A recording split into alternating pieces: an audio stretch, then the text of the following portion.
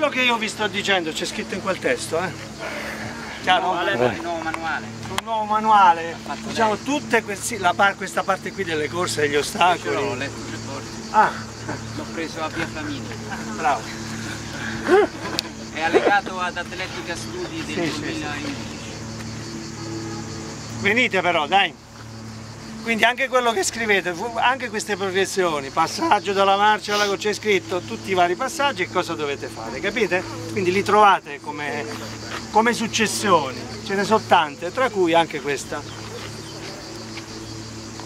Quello che vi voglio dire su questo è che ribadire un concetto, cioè quando noi lavoriamo sull'apprendimento, sempre la corsa,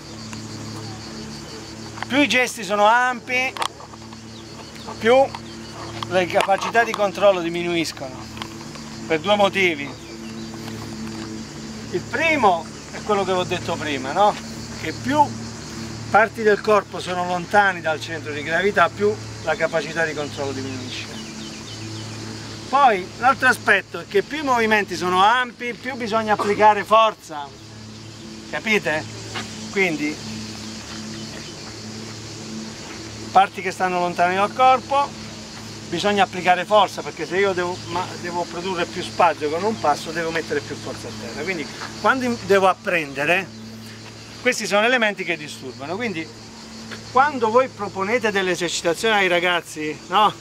andature oppure esercitazioni varie di corse, se gli dite che devono tenersi un pochino più stretti col passo, qualcuno di voi per esempio, lei sta sempre ampia, no? Eh? E non controlli però, capito? Vedi, se tenessi il passo poco poco più corto, poco poco più dinamico, hai più la sensazione di quello che devi fare. D'accordo? Queste due cose. Quindi adesso io vi chiedo di continuare a fare questo lavoro, vedete? Falli al coperto e esercizio. Sta andando bene qua. No, il campo. Lì se non si accende, lì è un Ma forno. è direzionata. Eh, No, no, carità. no, ma si sta bene qua, dai. Tanto, ragazzi, mancano 50 minuti, 50... Sì, sì, sì. eh. Allora, cerchiamo di andare avanti.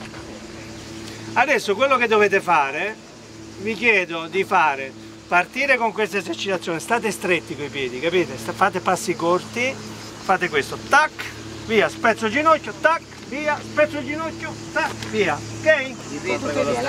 Man mano che andate avanti, prima fate tallone pianta punta, tallone pianta punta, poi fate pianta punta, pianta punta, poi metatarso, via. Quindi dovete fare tutte le sfumature, ok? Cioè praticamente dovete partire con queste esercitazioni, alla fine vi dovete trovare che correte e correte bene. Detto, detto, ok?